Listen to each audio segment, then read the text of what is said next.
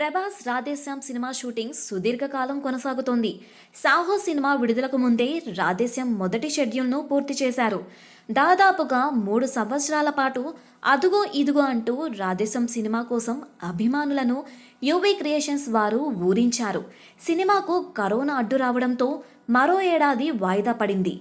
ఎట్టకేలకు cinema corona second wave తర్వాత చేసిన షూటింగ్తో రాధేశ్యాం షూటింగ్ ముగిసింది అంటూ యూవీ క్రియేషన్స్ వారు అధికారికంగా ప్రకటించారు.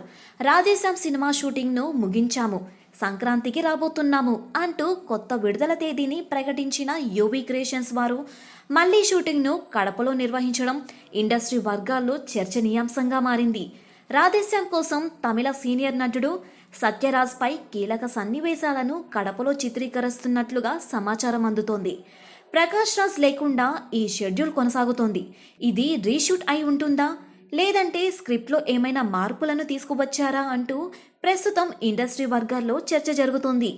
రాధేశం సినిమా దర్శకుడు రాధాకృష్ణ సినిమాకు సంబంధించిన ఏ విషయంను కూడా లైట్ తీసుకోకుండా అత్యంత జాగ్రత్తగా సినిమాను చేస్తున్నాడు. భారీ ఎత్తున అంచనాలున్న ఈ సినిమాను మళ్ళీ షూటింగ్ చేయడంకు కారణమేంటో తెలియదు కానీ ఖచ్చితంగా ప్రభాస్ అభిమానులకు సంక్రాంతికి పండుగ డబుల్ చేసే విధంగా రాధేశం ఉంటుందనే నమ్మకంను వ్యక్తం చేస్తున్నారు. రికార్డ్ బ్రేకింగ్ వసూళ్ళతో ఈ సినిమా పాన్ ఇండియా మూవీగా నిలవాలంటే కంటెంట్ విషయంలో ఎక్కడా రాజీ పడకూడదు.